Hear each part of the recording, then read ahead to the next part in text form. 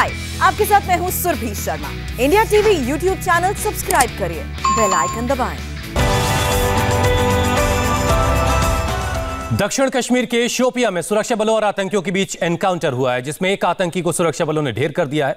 अभी मारे गए आतंकी की पहचान नहीं हो सकी है। शोपिया ज़िले के रावलपुरा में आतंकियों की मौजूदगी की खबर मिली थी, जिसके बाद सेना सीआरपीएफ और पुलिस का ज्वाइंट ऑपरेशन शुरू हुआ।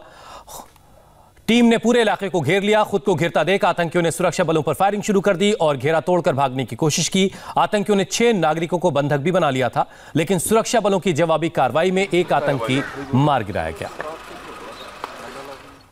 यहाँ वक्त एक ब्रेक का है। ब्रेक के बाद देखिए आज से कैसे शुरू होगा ममता का व्हील चेयर वाला प्रचार। Hi I am Surabhi Sharma खबरों से अपडेट रहने के लिए India TV YouTube channel subscribe करिए। साथ में बेल आइकन ज़रूर दबाएँ। जुड़े रहें इंडिया टीवी के साथ।